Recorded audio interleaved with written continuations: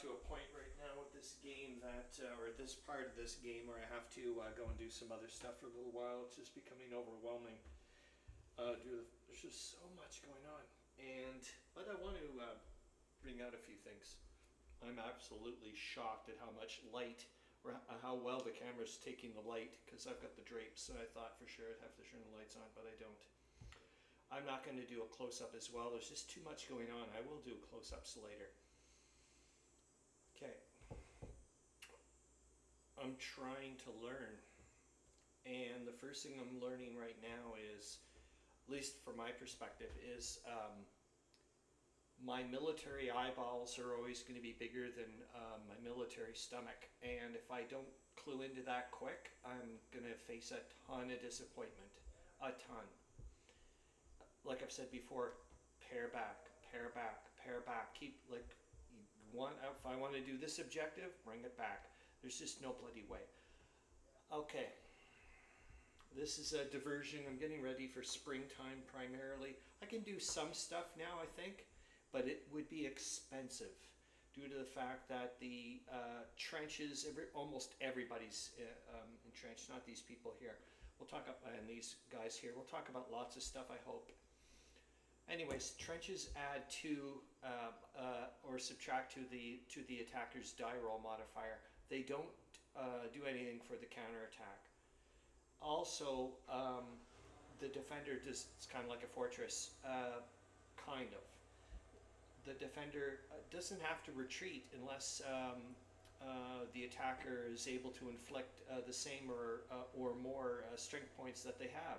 So it, it's difficult that being and then if you take it, that hex becomes a devastation marker which means it now is um, no defensive um, bonus for you but it's still a, uh, it uh, adds two to the movement cost. I think trenches do s- still as well i'm not sure.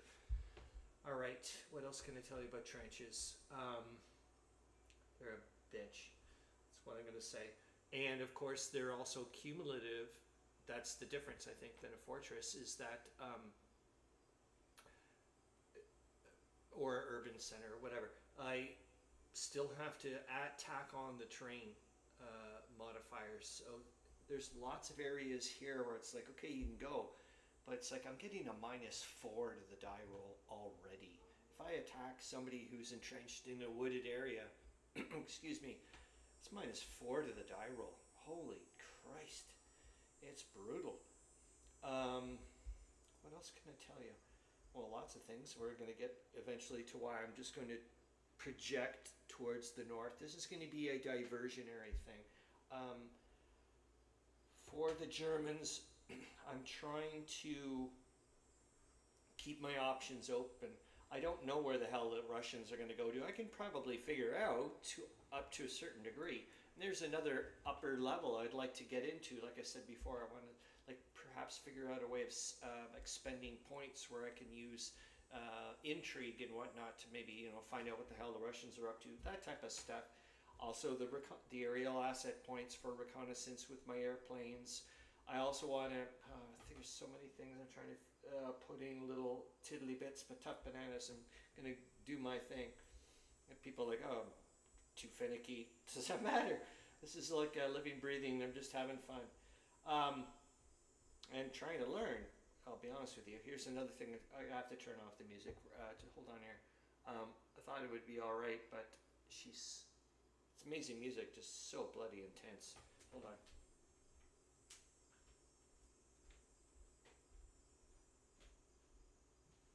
I'm gonna pause it. All right. That should be better.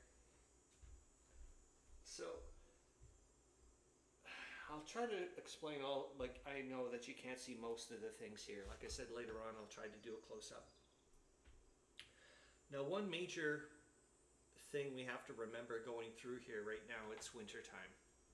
So, for winter, that means uh, my line of supply is reduced from uh, four to three for an attack hexes for an attack and eight to six hexes for a counterattack.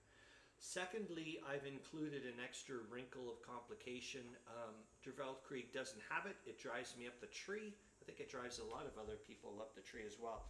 Is the fact that um, for, for line of communication, all right? So line of communication is essentially an army or corps HQ needs a line of communication. Otherwise, if they don't have one, um, they suffer uh, they suffer penalties in how they can supply attacks. I'm also going to use that bit in wintertime. So if a corps, army or corps HQ cannot do, does not have a line of communication, and I'll tell you what that is in a minute, and it's wintertime, essentially what that means is um, corps uh, army or corps HQs can only supply an attack if they're adjacent to the hex. They can't be in the same hex because they can't supply, uh, as far as I know, you can't supply in, in, an enemy zone of control. There was another uh, thing I forgot about corps HQs. It's been so long. I, I was putting 12 uh, supply points in some of these corps HQs. Can't do that.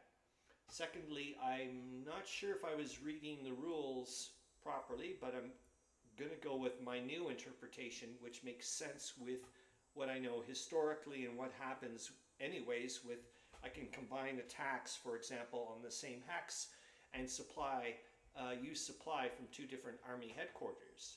When I was reading, I think it's rule section 18.8, I'm not, don't quote me on that, but um, it is about that in campaigns only or whatever, corps HQs can, uh, an attack can only be, you can only use two supply points for an attack with corps HQs. I took that literally. So I was like, okay, you can only use one corps no matter how many corps HQs are around. It's like, now I'm thinking, doesn't really make much sense. Uh, like, come on, let's be honest. There, there was a lot of coordination of attacks, and I've even gone away from that yet again, where I don't allow coordination of attacks for a large part between armies, even in the same side. I'm not, whatever, it's, you know, that type of thing. So there we go. So what I'm saying is I'm now allowing, I'm just keeping the limitations to what it should be for the infrastructure. The corps HQ can only logistically supply two uh, supply points for one attack and a turn, or four supply points, uh, I think it's the way to go, for uh, counterattack, whatever. But you get the idea. Um, but I can have tons of corps HQs uh, mounting, uh, you know, combining their supply points onto an attack. If I can so, you know, can so do it, I, I'm all right with that because it makes sense. All right, but I am putting a constraint, which where we're getting back to the line of communication bit, is in Der Weltkrieg. A line of communication can be indefinite, and what a line of communication is is a line of communication is a line of hexes from the a army or corps HQ to a this is the kicker and I, I clued in last night when oh my god sweet Jesus I love you uh, is active friendly not your own but active friendly rail line or a supply depot that does not come up uh, through does not run through um, prohibitive train, terrain for obviously the Army or Corps HQ, or goes through a hex that uh, is an enemy zone of control that does not have a friendly uh, unit in it. Friendly. Get the idea? Remember all these things. That's why I'm looking at it. Okay, done is done is son. So we're, we got here. I gotta put my glasses back on. So I was going really hard here. I'm still uh, calling it, what am I calling it? Oh, Operation, hold on here. Operation, oh, it's probably my Germany book. Hold on here. Yeah, I gave up 16 supply points to the Austrians over here. We're going to take this, we're going to, we've decided, uh, we've asked, um, it just makes sense for terrain wise and what I would like to do as a diversion. And the Austro-Hungarian uh, Hungarians are like, okay, so I gave them 16 supply points. We take over this hex, but it's going to help us in the long run. And they're like, okay, we just shortened our line again another 20k and we get 16 extra supply points. Thanks, man. Um, It just helps us. I'm not a big fan, uh, narratively speaking, of wanting to coordinate an attack with Austro-Hungarians who haven't been playing ball with us. That's why I'm looking at it. So I'm like, screw you. But, so we're going to try to take control, which means we'll take control of this hex. It'll turn into an orange one, and we, we have the potential to start mounting the things. So let's get back to the wrinkles. I'll get into the other stuff in a minute. So like I said, uh, as long as I can do that, your line of communication can be indefinite. I'm not a big fan of that. So I decided what I'm going to do is I'm going to do exactly what the rules say, except it's limited to eight movement point hexes or non-rail, obviously, or um, um, yeah, eight, and then um, drops down to six in wintertime. That's the extent that an army or eight uh, corps HQ can draw supply properly or have a line of communication properly to the rest of the world, their friendly world or whatever, and extend out. Which that which that means I've caused myself severe limitations and compound that with wintertime. So when I saw that, I started cluing in that guess what? I can't just willy-nilly make attacks all over the place. I wouldn't do that anyways. I'm trying to learn. Because like one hex later, I may just, that's it. I can't supply anybody. So what, what's the point? I like, I've, I've spent like a bazillion supply points and tons of casualties to get a hex to do what? Not to mention, most of this crap is in Russia. I can't convert any of this rail to friendly rail during winter and even during the summer for Christ's sakes or non-winter months it's every alternate turn. It's gonna take forever. Thank god this was a master stroke to be allowed to go here. But it doesn't well kind of in a weird way. It was like the rules would have said that anyways but I didn't know that. I didn't know it said friendly. So anyways so these L's we can't see them but here are the lengths. This is the furthest I can take uh, go from any of those uh, conditions. I can put an army or a corps HQ. Now from there, I can start seeing that I can only attack from three movement points out because it's winter time. After that, I can't supply. I can't properly supply you. I start taking penalties. This is a no-go zone for any offensives. I wouldn't go here anyways. I mean, you got fortresses from here to tomorrow. What the hell do I want to go towards Warsaw for? And it's like from my perspective, I was visualizing a very deep pit, and the only way to fill up that hole was to put in an obscene amount of supply points and casualties. I just kept seeing the dead bodies pile. It just seemed ridiculous. Now here's the kicker though. I've got three areas here I can't entrench. All three are I cannot supply properly. I'm almost to the point, uh, I need these guys too. I'm almost to the point where I'm thinking I can I want to get the hell out of there. I won't, but it's like it's causing me major grief. I can't, I can't supply them. I, the terrain is too prohibitive.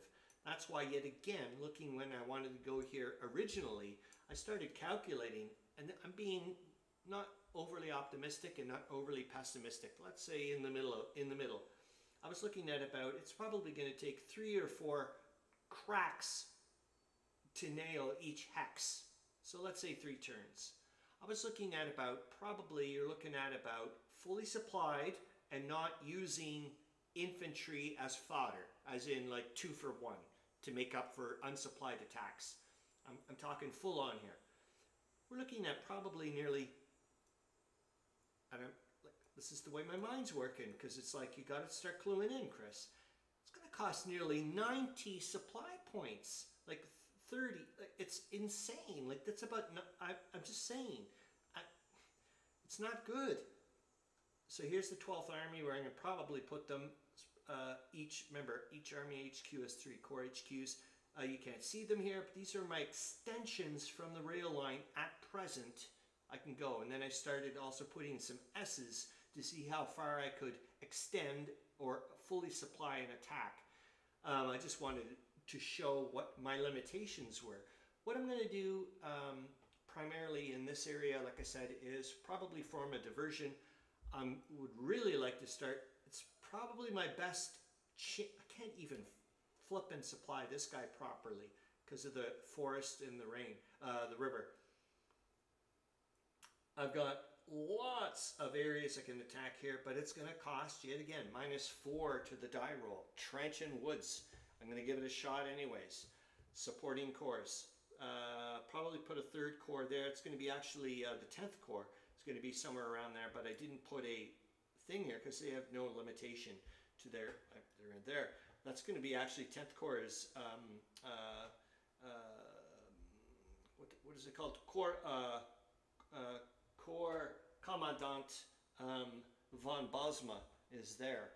So that's that. Um, yeah, and I, like I said, this uh, the 12th Army commander is Robert von Koch. He used to be Robert Koch. Now he's been, you know, popped into nobility land. So I'm not. I'm going to try as hard as I can to um, not do anything there. Now all the core HQs, I'd like to give them about. I wanted to give them tons, but I've got 12. I wanted to give them eight. That brings me up to 96 and I gave away 16 to the other dudes. Uh, I'm down to like less than, I think something like 100 or, no, no, even less. I think like 70 or 80 supply points. And I just talked to you about it's going to cost a ridiculous amount, like boom, boom, boom, boom, boom, to nail them.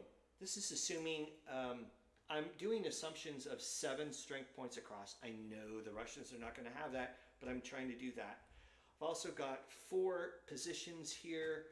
Um, I'm trying to think of, um, I want to keep reserve units. They're not too many, and I have a lot anyway, so it doesn't matter, I guess. They're going to be entrained, and I don't leave them on there forever. But I just don't know where the Russians are actually going to do anything. But I want to have, I want to have um, the possibility of reacting properly. The other thing about reacting, though, like I've said before, is I want to start getting into the fact of I've got to start thinking several turns in advance. That's why I stopped this. I was like, okay, we're not going to put all, all our eggs, or we're not going to go that way. It'll be a diversion, and this is a spring opportunity. I'm going for Lublin. Monster. Monster. I got to figure out the name of the uh, thing. Remember, I said it was called a. Um, calling it. Um, I don't have it written down here. I thought I did. Hold on. Where are you? Where had you written down? Operation Umstelten, which I think is Operation Shift. That's basically um, the theme I'm trying to use is how to shift microly and macroly, I guess is what I'm trying to say. It's so weird to be thinking operationally and not even um, considering what's going on on the upper level or the lower level. But I'm starting to see why people chit chat both ways, and there's always like a push and pull of wanting to do, and you're trying to do your own thing, but it's like, you know, people are always asking for this, that, and the other thing, and you're asking for this, that, and the other thing, and they ain't giving it to you, and on and on and on. Uh, like I am not even thinking about what's ahead. Uh, I'm not looking that way operationally. I'm just looking, going, okay, this is what I need now, and this is what I think um, you know it's going to cost to do it. You know, so many so many turns, and I'll let this dude Hindenburg and Ludendorff figure out how to get that. You know, and say yay or nay.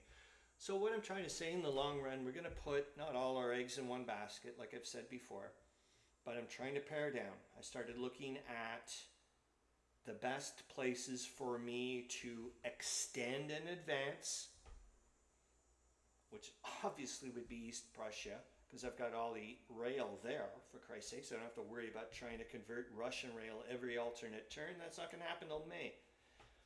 We're in December, for Christ's sakes.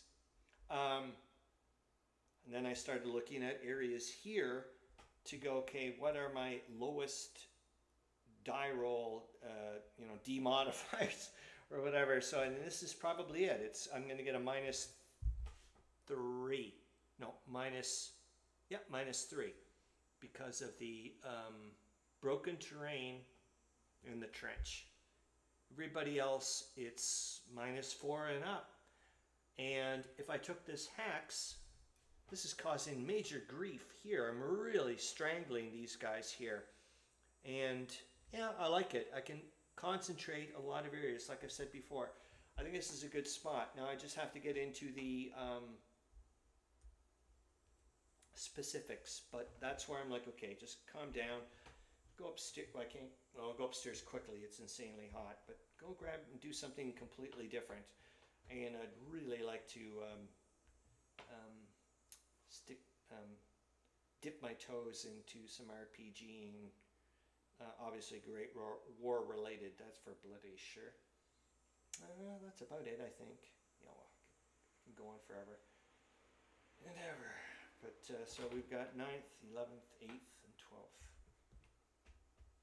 But I think this is the way to go. And like I said, yet again, slow down, stop. Like, don't. Um, why the hell would I go towards Warsaw? It's like a freaking. That's like a. It's a land of grief. Nope. So let's try to coax them. coax them away. Let's see what happens. All right. See you later. Hope you're having fun, man.